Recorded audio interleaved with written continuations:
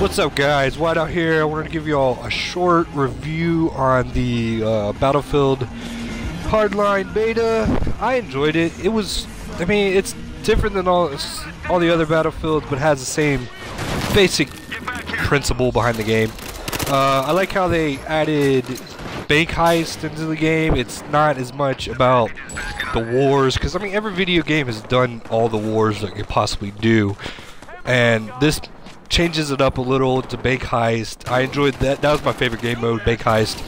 Uh, I'm more of a major Call of Duty player than I am Battlefield. But, I mean, I, I enjoy playing Battlefield every now and then, playing the more realistic. Um, one bad thing is, I... That's how I feel about every Battlefield, though. The, uh, gameplay, the realism, kind of takes away from the, the gameplay.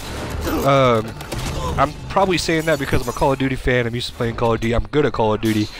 Uh, playing Battlefield, I noticed I wasn't as great as I was in Call of Duty, but I still enjoyed it. It was a, it was a good game. It's probably something I'll buy. Do on a full review. This is just a short one. Now that the beta's over, give everybody an idea how I liked it being a COD player and what I thought about the Battlefield. But it, it looks like it's gonna be different, and it looks like something I'm definitely gonna have to get. Uh, I suggest everybody try it out. If you like this video, subscribe, do whatever. I don't care. Like the video. It's up to y'all. I'll see y'all next video.